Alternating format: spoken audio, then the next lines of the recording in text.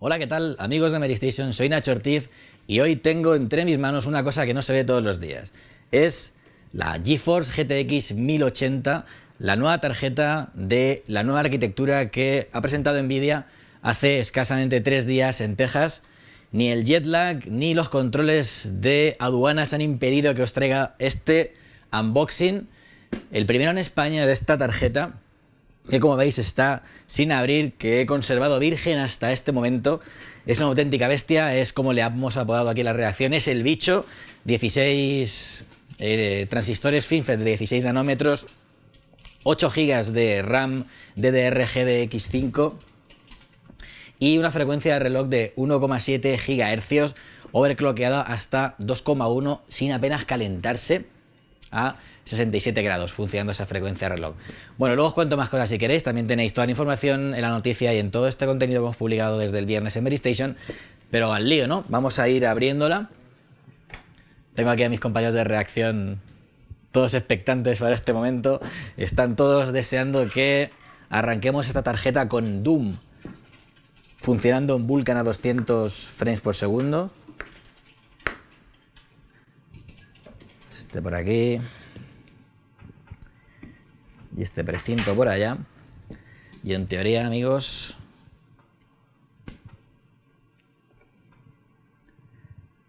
Con todos ustedes... El bicho. Ahora que se me cae, espera. A ver, con vuestro permiso. Vale, este es el modelo uh, Founders Edition, eh, que como os, hemos, os he ido explicando estos días, es el que sustituye al base model o la nueva nomenclatura para el modelo base producido por Nvidia. Sabéis que esa tecnología va a terceros y con ella, pues cada fabricante produce su versión de, de esta GTX 1080.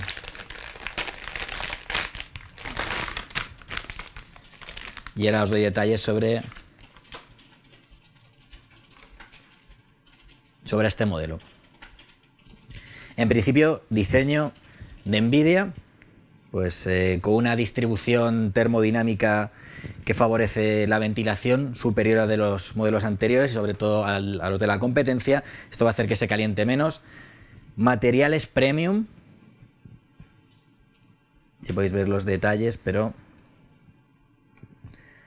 todo lo que es la carcasa externa está hecha de materiales premium. No se ha concretado exactamente qué materiales son, pero como os digo, favorece que esto cuando se overcloquea a 2,1 GHz, funcionando a tope.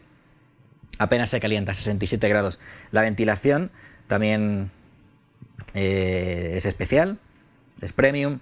Y sobre todo el backplate que le llaman ellos, la parte trasera, esta placa, como veis, eh, está cerrada, no tiene nada de, bueno, eh, lo que serían los conectores y, y, demás chips que se ven por la parte trasera. Pues nada, aquí es plano completamente, lo que favorece que si queremos, pinchamos dos en sleep y quedan muy bien unidas e integradas. Conector de 8 pines para la alimentación. Una alimentación que, aunque parezca sorprendente, son únicamente 180 vatios y la, la, fuente recomendada son de 500. Es muy poco consumo para una eficiencia que duplica a la GTX 980 o incluso a la Titan y tres veces el rendimiento. Es una bestia. Es la tecnología eh, nueva que ha conseguido Nvidia con la arquitectura Pascal es un salto cualitativo. No estamos hablando de cantidad, estamos hablando que es un salto a un nuevo concepto.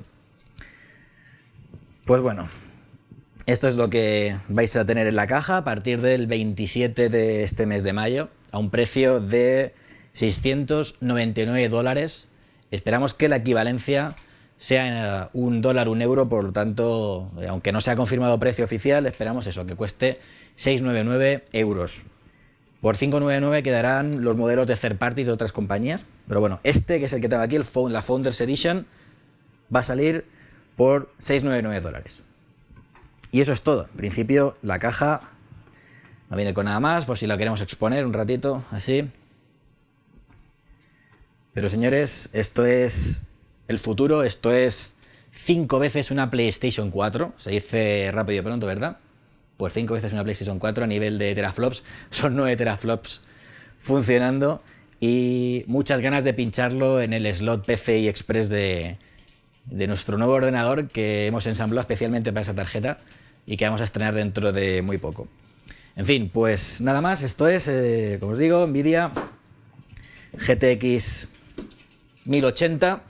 La 1070 saldrá el 10 de junio, con unas características un poco más inferiores a esta, pero suficientes para adelantar a una GTX 980 Ti a un precio de 3,79 eh, y 4,50 euros o dólares. Veremos cómo queda la cosa.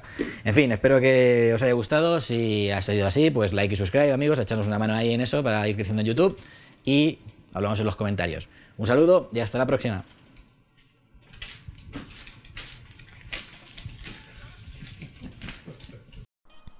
Hola, hola amigos de Merestation, ¿cómo estáis? Soy Sol González y hoy voy a enseñaros a usar el uso a distancia de la PS4 desde vuestro ordenador. Con la versión 3.50 de la consola se puede usar por fin